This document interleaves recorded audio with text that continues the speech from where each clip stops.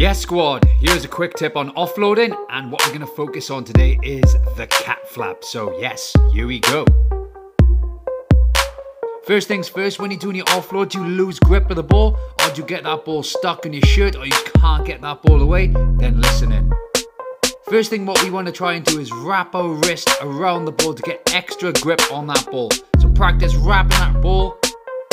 Then what we need to do is get a high elbow to create space for the ball to be allowed to travel through.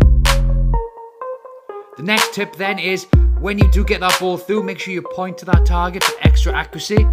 And if you want to start by using a tennis ball, this is a great way to practice.